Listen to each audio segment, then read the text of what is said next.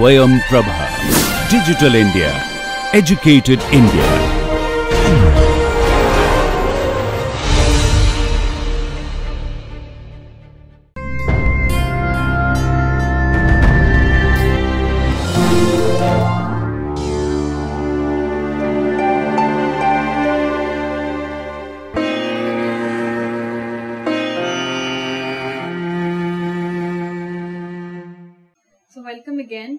Series in renal pathology and today we'll be talking about renal tumors.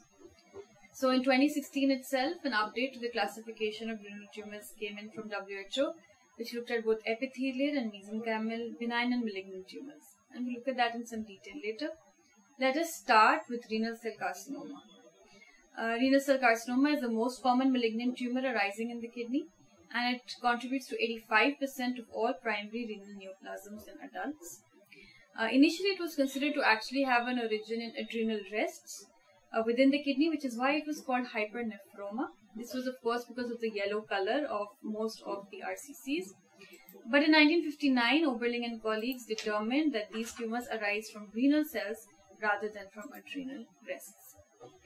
Uh, in terms of etiology, there are a large number of environmental factors, including cigarette smoking, unopposed estrogen therapy, exposure to petroleum products and heavy metals including asbestos, and also an increased association with end-stage renal disease.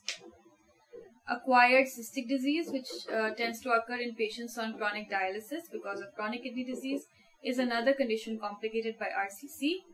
Also, some cases of autosomal dominant polycystic kidney disease and tuberous sclerosis are known to develop renal cell carcinomas.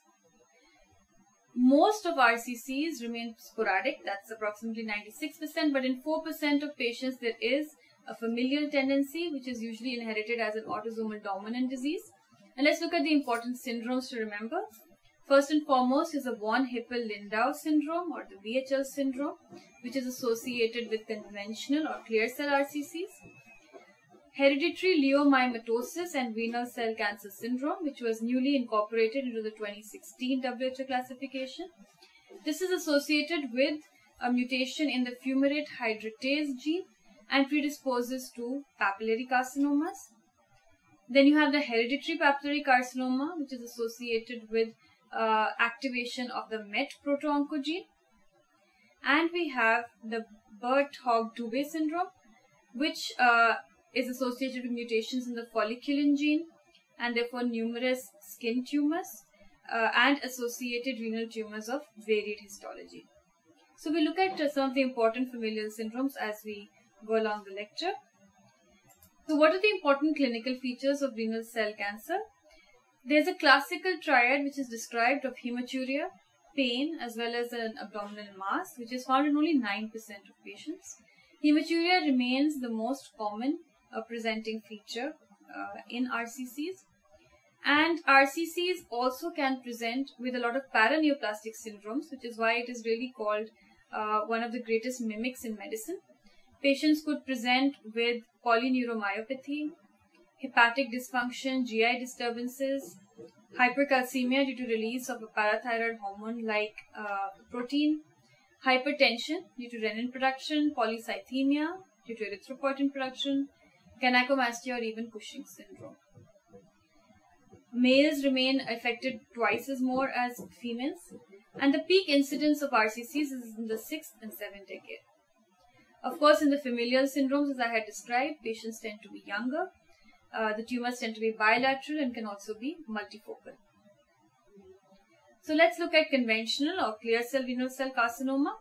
The cell of the cell of origin of this tumor is from the proximal convoluted tubule and whether it's sporadic or familial, really, conventional RCCs have been most consistently associated with mutations in the short arm of chromosome 3, which houses the VHL gene. So, what really happens when this VHL gene is deleted or mutated? The VHL gene encodes for an important part of the proteasome.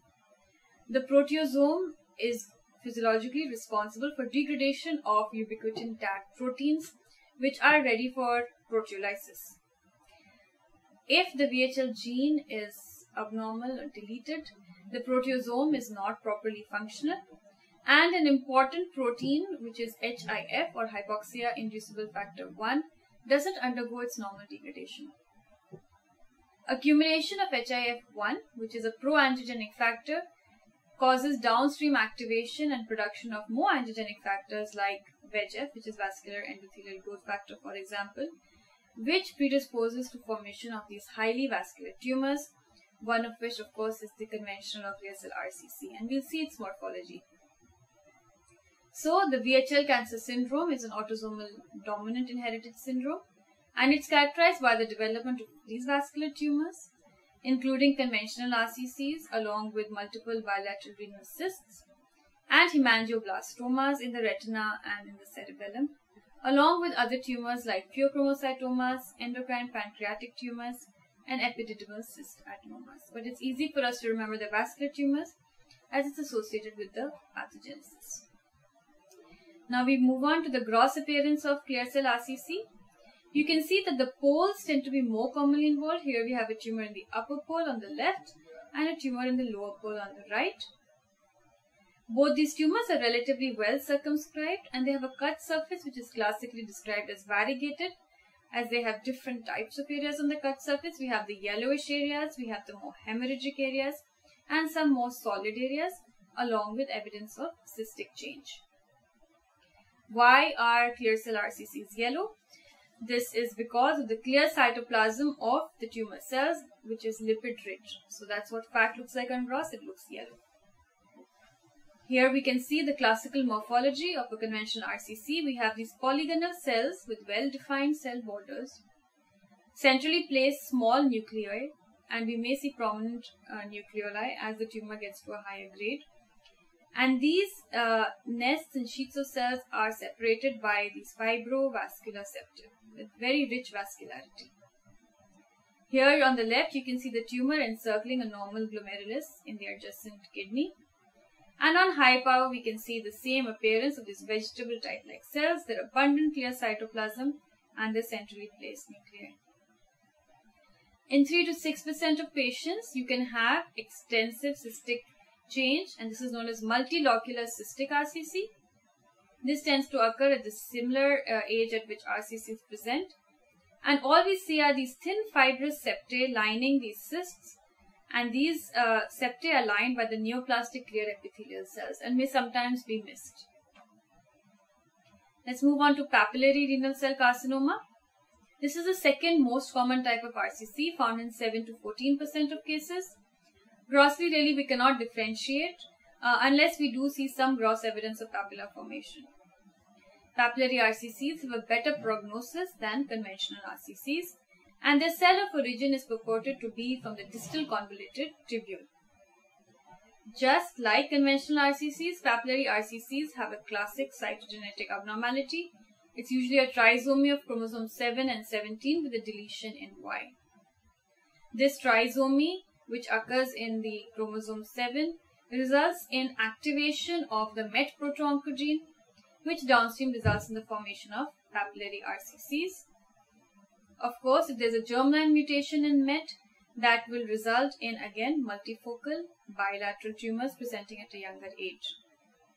The other familial syndrome that we had discussed with papillary RCC is the hereditary leiomyomatosis and renal cell carcinoma syndrome.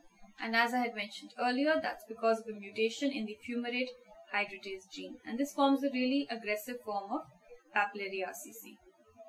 Even in the non-familial forms, that is in sporadic papillary tumors, you do see evidence of uh, MET proto-oncogene activation. Morphologically, we divide papillary RCCs into type 1 and type 2. Type 1 has papillae lined by a single layer of cells which have scant and pale cytoplasm, whereas in type 2 you see pseudostratification in the epithelium and you have cells with more abundant acidophilic cytoplasm. So here, for example, you have uh, a type 1 papillary RCC to the left. And you can see another classical feature wherein the fibrovascular stalks of the papillae are uh, filled with these foamy macrophages.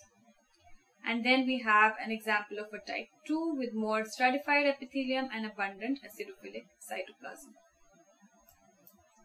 Let's move on to chromophobe renal cell carcinoma. Uh, this comprises 6 to 11% of RCC cases. The cell of origin is thought to be from the intercalated cells of the collecting ducts. Males and females are equally affected. The mean age remains similar. And this has a better prognosis than both conventional as well as papillary renal cell tumors. In terms of genetics, multiple chromosomal losses and extreme hypodiploidy is described, but no classical uh, genetic mutations are described as uh, is noted in conventional or papillary RCC. The gross appearance of chromophobe RCCs, these slow growing tumors, it's very classical. They tend to be solid, they tend to be mahogany brown uh, or tan colored on cut surface, and they may even show you a central scar in some cases, evidence of their slowly growing nature. And what do they look like on microscopy? You see a more solid proliferation of cells which are again polygonal, just like in the conventional RCC. Uh, but the nuclei tend to be more wrinkled with irregular nuclear membranes and they tend to show a perinuclear halo. This perinuclear halo is because of accumulation of small mucin vacuoles which can be detected on Hales colloidal iron stain as we can see here this blue staining that is noted in the cytoplasm. Uh, it also has a classical ultrastructural appearance where the cytoplasm is full of these small vacuoles which are what contain mucin and are picked up by the special stain as I had just described. The next variant is collecting duct carcinoma. This is a relatively uncommon form of renal cell carcinoma with aggressive behavior. Uh, again, it can show several chromosomal losses but nothing very specific. Uh, it tends to arise from the principal cells of the medullary collecting duct and therefore it tends to have a gross appearance which is limited to the medulla. As we can see here on the left in this gross picture, we have a more solid appearing tumor which is localized to the medulla. And if we look at the microscopic appearance, we see these ductal structures lined by high grade nuclei associated with a uh, marked inflammatory infiltrate as well as a desmoplastic response. Renal medullary carcinoma is morphologically very similar to collecting carcinoma. It has a similar gross appearance with the tumor being limited to the medulla, but it has a classical clinical presentation of patients with sickle cell disease. Uh, it tends to have an aggressive course and a very similar appearance as I described. RCC have now been added in the new classification, including enzyme deficient RCCs, which is the succinate dehydrogenase deficient tumors, translocation carcinomas, including the XP11.2, among others. Let's now move on to prognostic factors in a renal cell tumor. First and foremost is stage. This is the most important prognostic factor in this tumor as with other tumors in other parts of the body. What's interesting is that RCCs have a tendency to metastasize widely through the renal vein, and in 25% of patients with RCC, the presentation could be with metastasis. The most common site of metastasis is lung, followed by bone, uh, the abdominal lymph nodes, adrenal gland, and even the brain.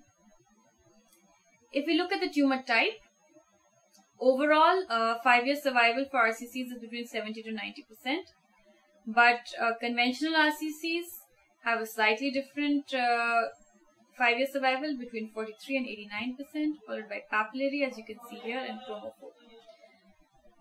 Chromophobe RCCs therefore have the best prognosis, followed by papillary and then conventional in that order.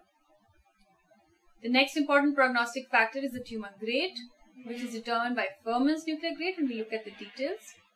And then we look for presence or absence of sarcomatoid change in this epithelial tumor. So let's look at the staging and how renal cell tumors are staged.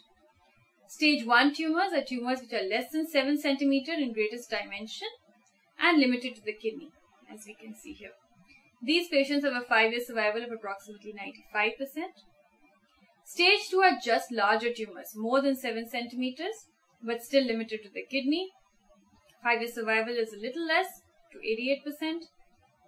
By stage 3, the tumor has started spreading. The tumor is present either in the major veins or has shown local extension to the adrenal gland or it has shown perirenal extension but it is still limited by the Gerota's fascia or at least one regional lymph node is now involved. This has a 5-year survival of 59%. By stage 4 renal uh, cell tumor, the tumor has now gone beyond the Gerota's fascia or has involved more than one regional lymph node and you can see that the fiber survival is significantly lower at 20%. The Fuhrman's nuclear grading in RCC uh, divides RCCs into four grades based on the appearance of the nucleus, the nucleus size, as well as the nucleoli. To remember easily, in grade 1, you have round uniform nuclei which are small with absent or inconspicuous nucleoli. By grade 2, the nucleus becomes slightly irregular and the nucleoli become evident but only on a high power that is a 40x magnification. By grade 3, they are very irregular, larger, with large and prominent nuclei evident even on low power that is a 10x magnification. And grade 4 is easy to pick up. It has bizarre, multilobated, large nuclei with very prominent nucleoli and chromatin clumping. As you can see, really in RCCs, it's a grade 2 and grade 3, which are the most common uh, grades of presentation. I discussed sarcomatoid change as an important prognostic factor and we must always give a percentage if there is sarcomatoid transformation in the tumor. And this is what it looks like. Really, it looks like a sarcoma and you may uh, find the only evidence of epithelial differentiation would be on immunohistochemistry with some epithelial markers. On the right, you have a sarcomatoid RCC with a pleomorphic giant cell appearance, so it can, it can look really, really pleomorphic. There are some indicators even on gross. Uh, when, a, when a tumor has sarcomatoid uh, areas, those areas may have a very white fibrous appearance now let's look at an important benign tumor of the kidney that is the renal oncocytoma. If you look at the gross appearance, it's really reminiscent of the chromophobe renal cell uh, carcinoma. Uh, it also has a well circumscribed appearance with a mahogany or a tan cut surface and can also show you the presence of a central scar. So these two tumors are really a gross differential diagnosis of each other. If you look at the morphology, however, there are major differences. An oncocytoma uh, tends to show very uniform cells.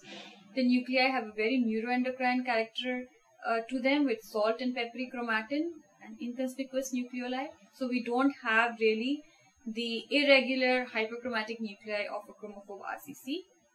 If you look at the cytoplasm, it tends to be abundant, eosinophilic and granular, unlike a chromophobe RCC which has clear areas, particularly perinuclear halos.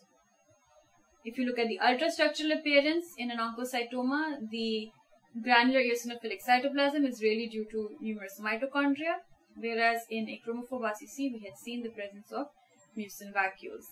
So these are important differences to remember between the two tumors. I'm now going to move on to urothelial carcinoma of the renal pelvis. This constitutes a small 7% of all renal cell tumors and as I described in my previous lectures, there may be a history of analgesic nephropathy in a small percentage of patients uh, with or without papillary necrosis, which is found in one fourth of cases. Grossly, the tumor would be soft and grayish red and would really resemble a transitional cell carcinoma of bladder. You may therefore see papillary projections. Microscopically, it would really resemble a transitional cell carcinoma of the bladder and majority of them uh, tend to really be high grade papillary urothelial carcinomas and the standard treatment would include similar to RCCs a nephroureterectomy.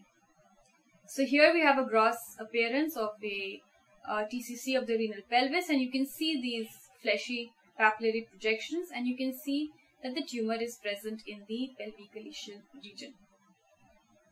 Let's now move on to some childhood renal tumors. There's a long list here, the first of which is Wilms tumor. You can also have renal lymphomas or leukemias. Uh, RCCs can present in childhood, particularly when there's a genetic issue there. Clear cell sarcoma of the kidney or CCSK, mesoblastic nephroma, and rhabdoid tumor constitute really the classical childhood renal tumors. Let's look at Wilms tumor. Wilms tumor is the most common primary kidney tumor in children, occurs commonly in the age group of 2 to 5 years, and is associated with mutations in the WT1, it's a Wilms tumor 1 gene. There are three important syndromes which are associated with Wilms tumor uh, gene mutations. and they tend to have a risk of Wilms tumor and a variety of congenital malformations. So let's look at the first syndrome, that is the WAGR syndrome. It's associated with the WT1 mutation, which is on chromosome 11. And the associated malformations include aniridia, that is the A, genital abnormalities, that's the G, and retardation, mental retardation, that's the R. So that's WAGR syndrome. The next important syndrome is the Denys-Drash syndrome, which is again a WT1 mutation, and it is associated with gonadal dysgenesis and other renal abnormalities in the form of diffuse mesangial sclerosis or DMS.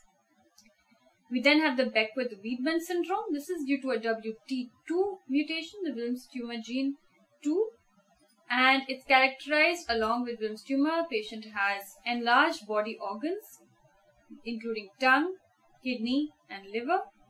This tends to happen in half of the body. That's why it's called hemihypertrophy.